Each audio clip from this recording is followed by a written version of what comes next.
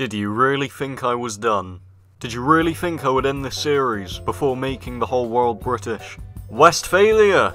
If I remember correctly, we have some unfinished business. Now, as much as I would love to just destroy Westphalia right now, I can't, because I do not have any available armies of sufficient strength in the area. I've got this one, but let's be honest, that's not going to work. So we'll just have to come back to them. And that actually brings me to this episode's goals that I have set. I have three main ones, the first one of which is to, well, finish off Westphalia for being annoying last episode while I was at war with Spain. The second one is to secure the Italian states and prevent them from ever becoming a rival. And the third one is to build a little army in the Caribbean and drive out the pirates. Because no good Brit likes pirates, eh? So right now we're going to ignore Westphalia and focus on Italy. Now I must say, the 13 colonies aren't doing too great.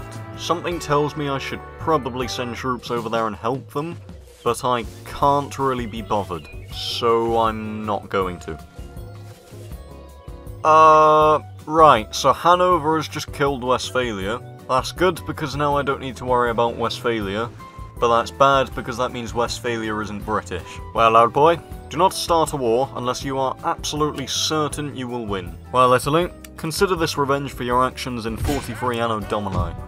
Um, who the devil is Dagestan. Sorry chaps, we can't go to war with Italy. They'll be joined by Dagestan, it's over. Well Italians, unless you've got Mario behind those walls, you're a tad bit buggered I'm afraid. Well gentlemen, if you've seen the last two episodes, you know the drill. You know, sometimes I wonder if my enemies' walls are actually walls, or just doors. When your enemies start vertically walking up and into your castle, I think it's time to call it a day. They are kind of dressed like Mario, aren't they, with the red and blue? Alright, my lads up on the wall are very outnumbered, but they're British, so it should be fine. Do remember, other than the Euro Cup three years ago, I have nothing against the Italians. This is purely for entertainment, they just didn't give me their country, and therefore must be shot. God, nice square there, Italians. Really put a dent in my plans there. Much like I put a bit of a dent in your walls. I'm not quite sure why the Italians have just walked up to my chaps here. They turned around straight away, bloody hell. Right, well we've got a few Italians that are just tired of living, and they've decided to play an early Battle of the Somme and just walk straight into the open towards the enemy. As for the inside of the castle, we've got the Italians surrounded and are dealing with the situation. Oh, it looks like they're settling it like gentlemen here, chaps. Let's see who wins.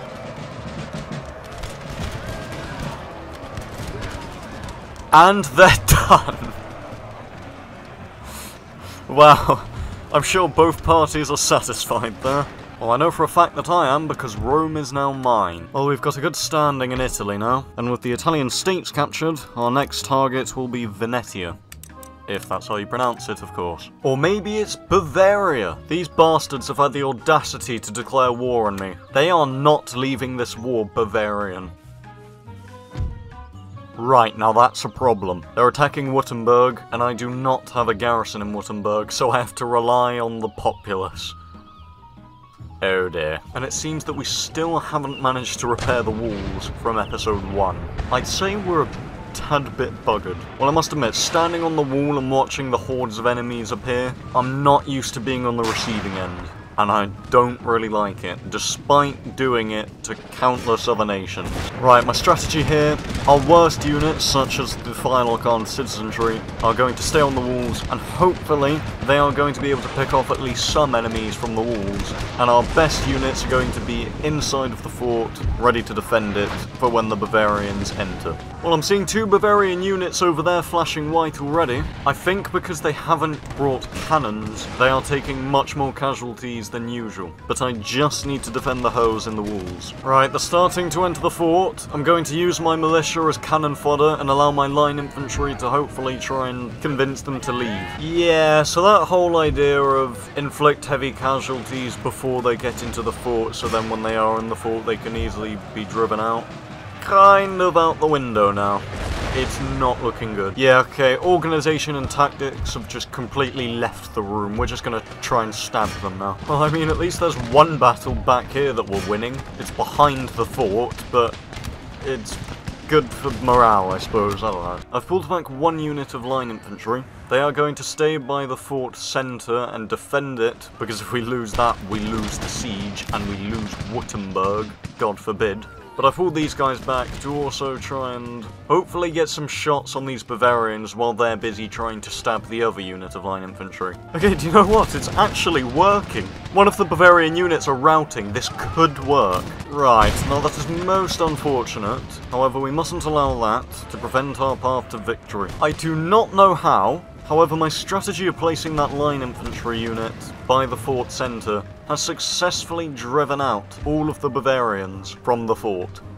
Victory is within reach. They are legitimately all routing. They are physically leaving the battlefield. Now it's just a case of cleaning up the remnants of the Bavarian forces. And off they go. Bloody hell. Who thought my infantry would be the ones charging their cavalry? Well, would you look at that? They do have cannons. In that case, they probably should have used them better. Well, chaps, we have successfully killed their general with bayonets. Right, seeing as it's just their artillery left, I'm going to safely say we've won. By some miracle, we have won. After a costly and hard-fought battle, death and dishonor is the enemies today. And Bavaria, that's what you bloody get for declaring war on me. Outnumbered, outgunned, but not outclassed. Do you know what? I've been at war with the Barbary states for long enough. How rude of me to not even go and visit them. I will fix that mistake by doing it right now. I will just ever so quickly pop in and say hi in Tunis which I think is supposed to, well I'm just assuming supposed to be Tunisia.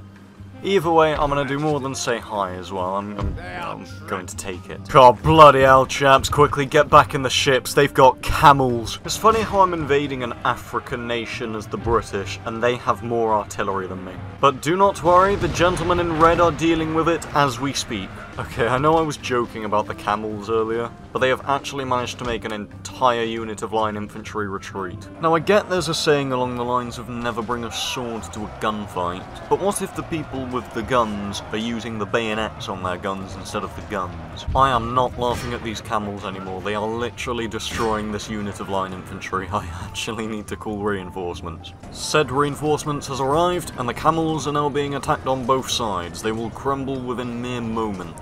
Bloody hell, never mind. They have actually managed to get another one of my line infantry to retreat again. I think it's the same one they got to retreat before. Never laugh at the camels. The conquering of North Africa has begun. Now with this army in Tunisia, I will use it to just conquer the rest of Africa, I suppose. Or at least, Barbary state owned Africa, anyway. Ah yes, the pirates. These bastards have taken most of the Mediterranean from me, and I am going to take it back, starting with Cuba. Right, so it turns out I forgot to bring cannons. And it also turns out this fort has walls. I have never done a siege before on a fortress that has walls without cannons. Luckily, however, they have for some reason left their walls almost completely unmanned. So I'm going to climb the walls. Now you see, it's quite different to Assassin's Creed Black Flag, isn't it? I'm not quite sure why they're just letting me shoot them.